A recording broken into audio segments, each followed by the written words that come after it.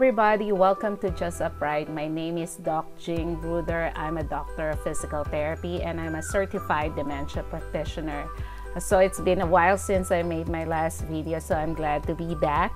Um, so today I'm going to answer one of the most common questions I receive uh, from fellow foreign trained physical therapists in different parts of the world. Okay, uh, so it's about uh, the visa. So, can I file my own uh, immigrant or working visa? Okay, so this is what we're going to answer today uh, in today's episode of Just Upright. Okay, so before I answer this question, please bear in mind that I am not an immigrant lawyer and I am not giving this as a replacement for um, immigrant lawyer advice. So you always have to ask your employer, uh, an immigrant lawyer, uh, about your specific situation before you take action. Okay, so this is just based on my experience, uh, based what I know from the experiences of my colleagues, you know, about the, the visa uh, that uh, physical therapists use, use uh, to be employed here in the US. Okay, so I'm going so, to discuss the working visa H1B and EB3.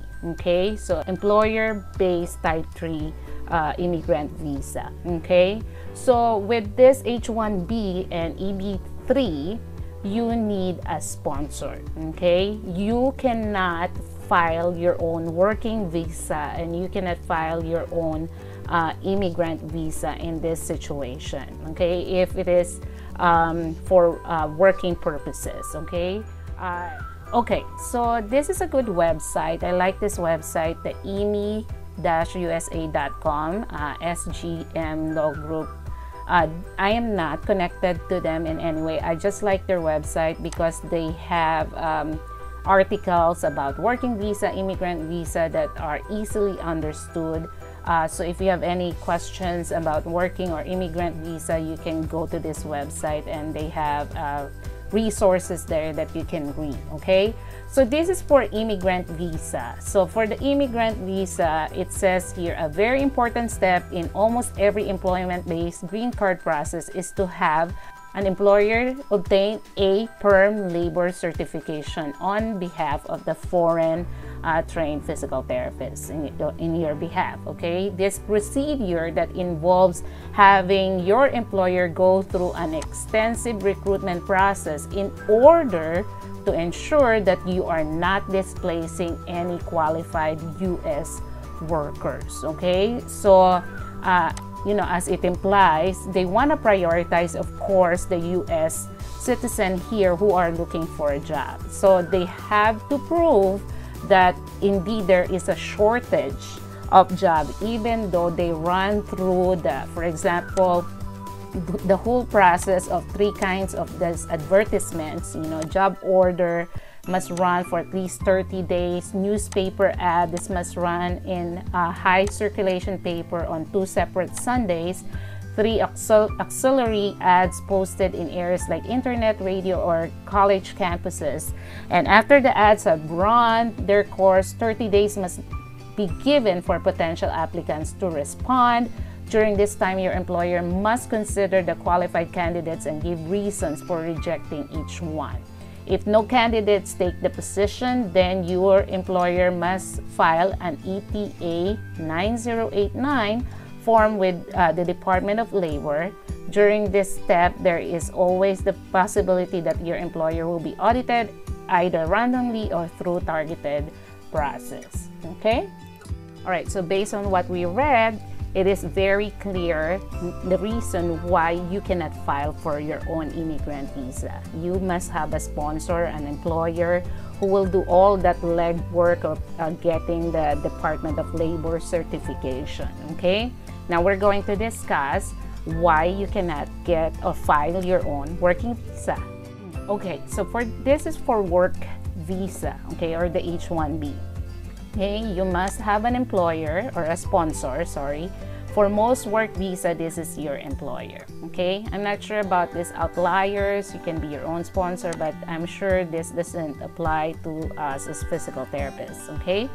Uh, and then another one is if you are not inside the US, you're outside the US, you're you are in your own country, you will need to go through a consular interview at the US consulate or embassy in your home country. Okay, so just a recap. What I discussed here is just pertaining to working visa, H-1B and EB-3. Okay, there are so many other kinds of uh, visas out there, guys, but these are common visas that employer or agency use to petition foreign educated, foreign trained physical therapists. Okay, uh, and it is clear, you know, based on the USCIS uh, regulations and the websites that we uh, read, that you must have a sponsor, an employer. It can be an employer, direct employer, or an agency uh, to file for your working visa or the EB3 uh, employer-based uh, Type 3 immigrant visa. You cannot file it for your own. Uh, now, if the question is, can I file my own tourist visa to take the exam? The answer is yes, okay? No one can file your own uh, tourist visa except you.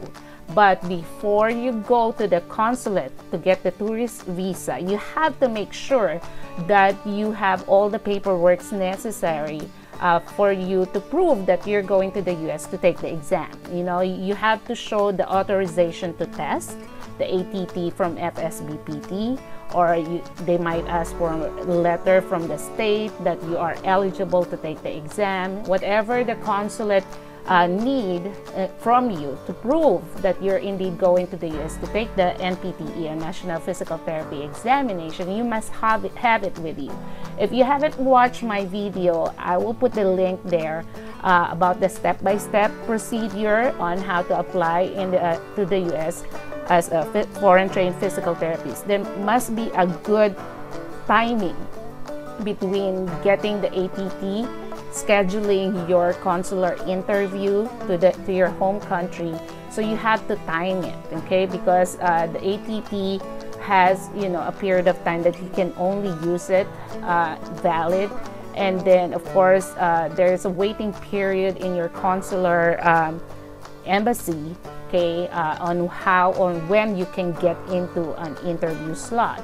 Okay, so please watch that step-by-step -step video and it will help you. I also have a playlist and I can put the link down below about, you know, I have more than 40 videos on how to apply as a physical therapist here in the US and that might answer most of your questions. So watch them before you send any question to me um, watch the videos first take your time and so that uh, you might find the answers already there okay? So if you haven't checked it out yet i have three books published and they are available at amazon.com you just type Gina Lynn Ruder and these books will pop out okay? So the first one is pt path to us a foreign trained physical therapist step-by-step -step guide to us application so if you want to have a copy of that and then practical tips for therapists prior to migrating or starting your US practice.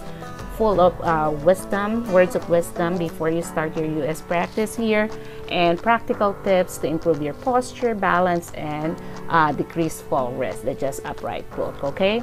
So please share this video to all people that you know who will benefit from it, uh, from your, uh, to your colleagues, uh, you know, older adults, and so that we can reach as many people as we can and help as much as we can. Thank you so much and stay blessed.